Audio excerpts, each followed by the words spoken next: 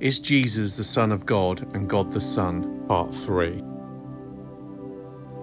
Did Jesus fulfill all the prerogatives of a truly holy God?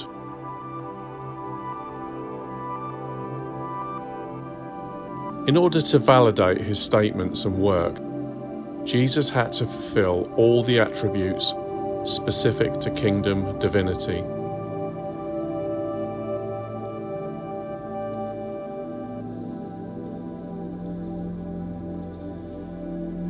In fact, what does it mean to be God?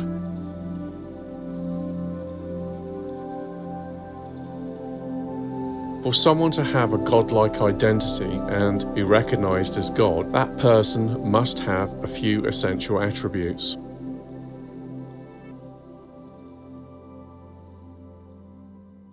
Eternity.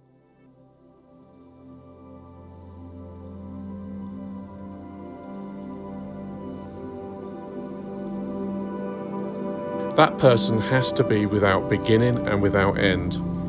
Jesus in the Old Testament prophecies said that he is the Father of eternity. Isaiah 9 6 For unto us a child is born, unto us a son is given, and the government will be upon his shoulder, and his name will be called Wonderful, Counselor, Mighty God, Everlasting Father, Prince of Peace.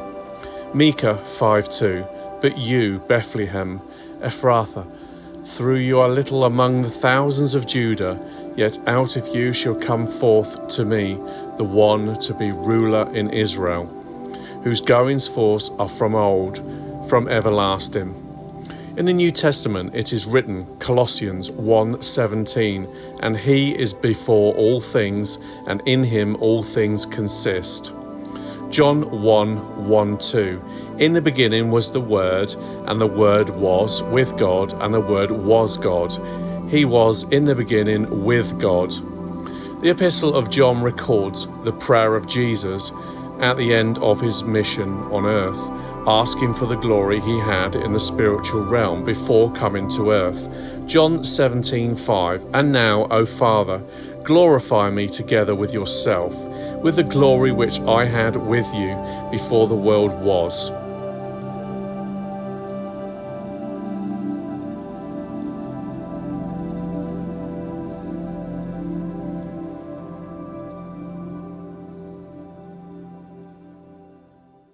Worship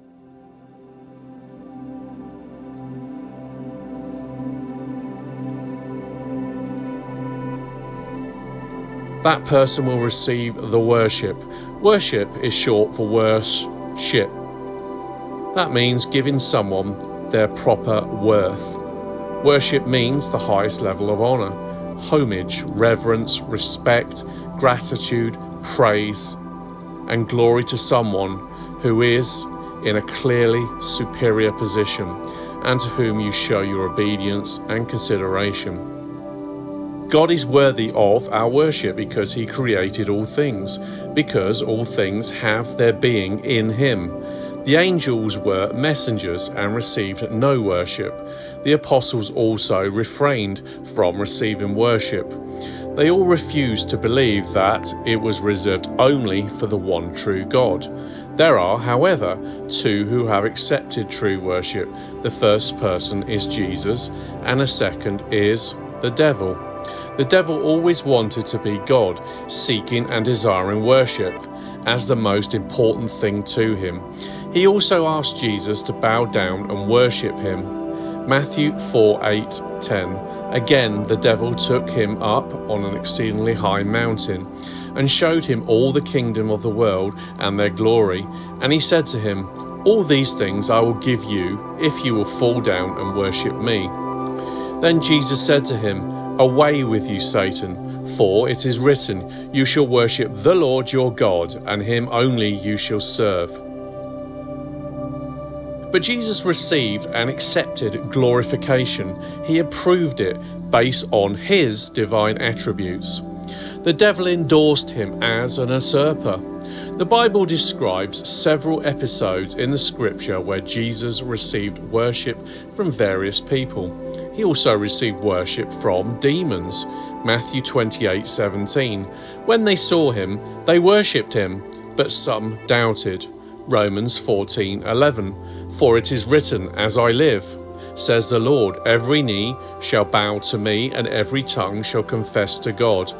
Revelations 4:10 to 11. 24 elders fall down before him who sits on the throne and worship him, who lives forever and ever, and cast their crowns before the throne, saying, You are worthy, O Lord, to receive glory and honor and power, for you created all things, and by your will they exist and were created.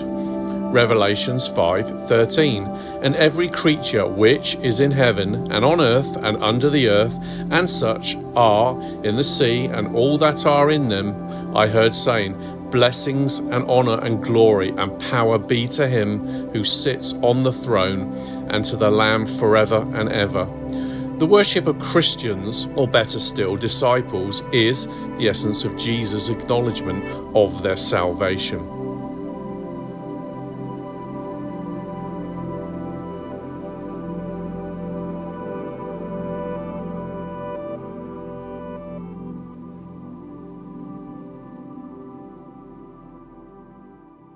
Omnipotence.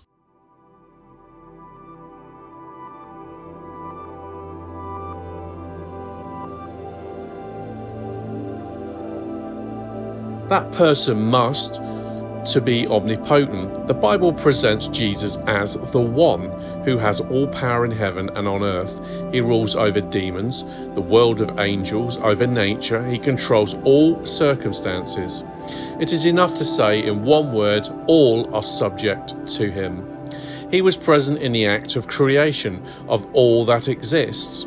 Through him, all things have been made, and all things are created through him. He performs divine works, which only God can do.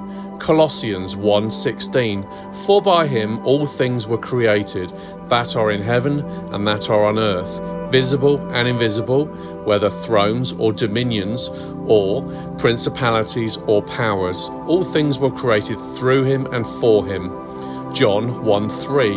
All things were made through him, and without him nothing was made that was made. Matthew 28 18. And Jesus came and spoke to them, saying, All authority has been given to me in heaven and on earth.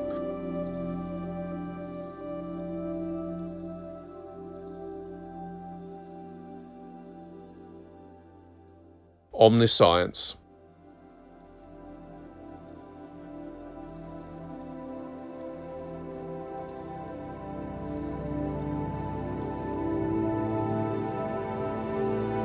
That person must have the ability to know everything. Jesus is presented as knowing even the thoughts of man. Luke 6 8, but he knew their thoughts. John 16:30. Now we are sure that you know all things and have no need that anyone should question you. By this we believe that you came forth from God. Jesus sees at great distances in an explicably rational way. John 1 48 49. Nathanael said to him, How do you know me? Jesus answered and said to him, Before Philip called you, when you were under the fig tree, I saw you. Nathanael answered and said to him, Rabbi, you are the Son of God, you are the King of Israel.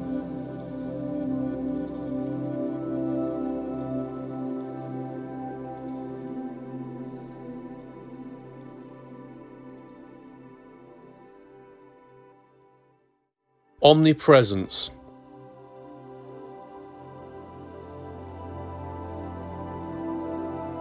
that person must be unchanging. He is able to be in several places or everywhere at the same time.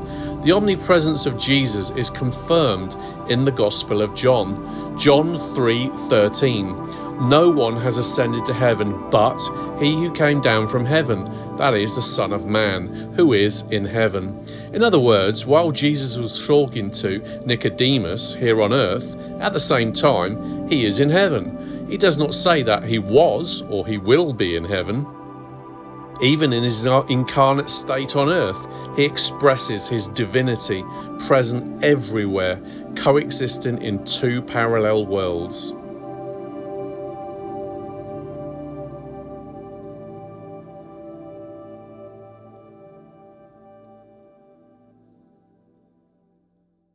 Immutable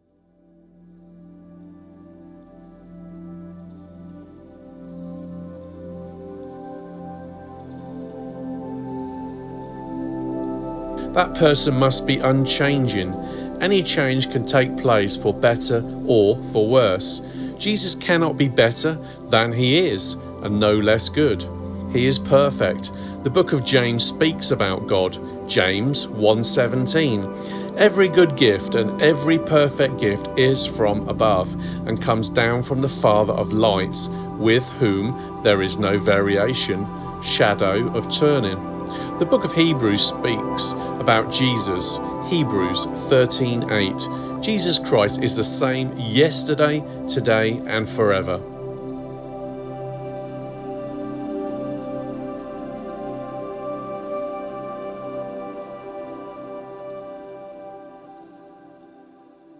And that person has to have life in himself to be able to bring back to life, respectively, to master the problem of death and the resurrection from the dead.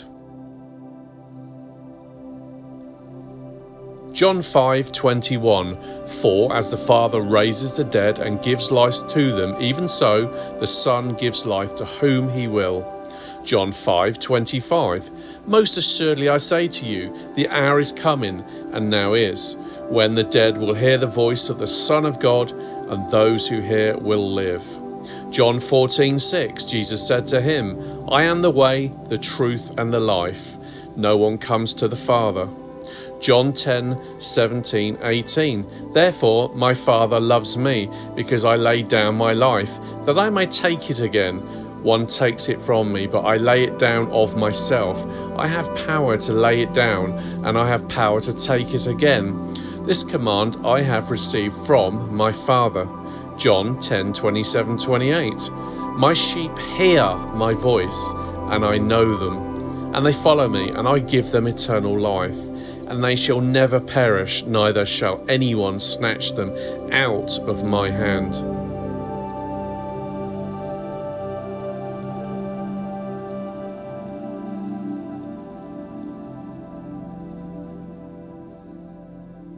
Person has the right to be the absolute judge everywhere and to everyone. Jesus Christ will be the court at the last judgment. Jesus will judge all who lived on earth from the creation of the world to its end. No one will escape his judgment. Even the dead will be judged for their actions when they were alive. John 5 22 23. For the Father judges no one, but has committed all judgment to the Son, that all shall honour the Son, just as they honour the Father. He who does not honour the Son does not honour the Father who sent him. John 5 27 and has given him authority to execute judgment also because he is the son of man acts 10:42 and he commanded us to preach to all the people and to testify that it is he who has ordained by God to be judge of the living and the dead.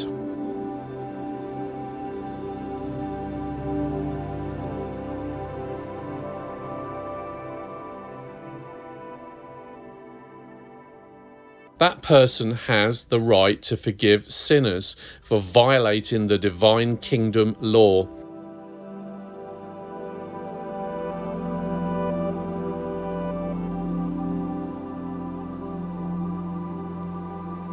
Jesus as the one true God forgives the sins of men.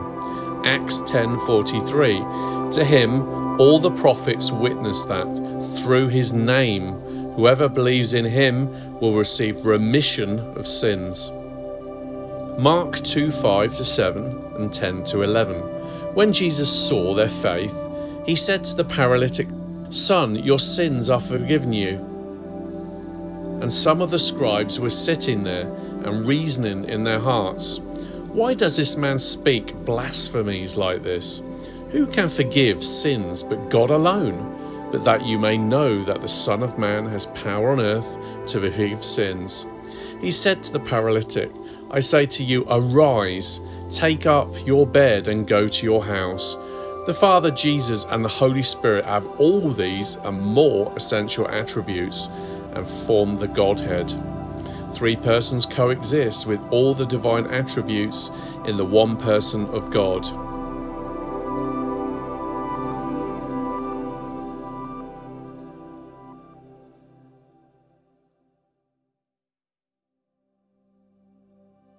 Another important thing, Jesus came to them and spoke to them, saying, Matthew 28 18 to 19.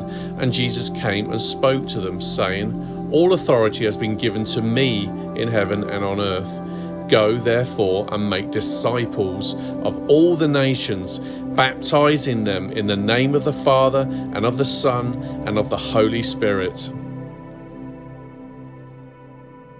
Did Jesus fulfill all prerogatives of a truly holy God?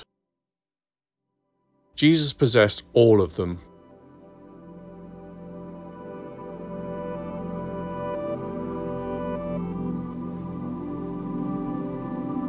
In conclusion, we mention a verse representative of our subject, Philippians 2 6 11, who being in the form of God did not consider it robbery to be equal with God, but made himself of no reputation, taking the form of a bondservant, and coming in the likeness of men. And being found in appearance as a man, he humbled himself, and became obedient to the point of death, even the death of the cross. Therefore, God also has highly exalted him and given him the name which is above every name that at the name of Jesus every knee shall bow of those in heaven and of those on earth and of those under the earth, and that every tongue should confess that Jesus Christ is Lord to the glory of God the Father.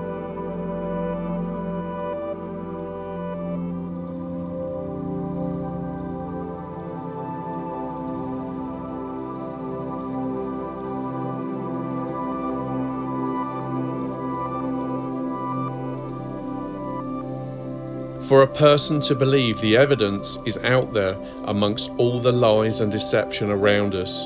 For the person who does not want to believe, there is no proof for them and no argument. Isn't it interesting today people state religion is dying out, yet in reality it's stronger than ever? Common logic would dictate if there are 7.7 billion people in the world and nearly 5 billion of them are made up of Christians and Muslims, while others are Hindu, Sikh, and different faiths, God worship, whether it be the one true God or not, is alive and well. It may be important in this context the recommendation of the book Evidence That Demands a Verdict by Josh McDowell it, along with many other books or other sources of documentation, has a detailed presentation and logical systemation of rich material and also presents a multitude of evidence, including historical arguments in support of the Christian faith. 2 Corinthians 13:14 The grace of the Lord Jesus Christ and the love of God and the communion of the Holy Spirit be with you all.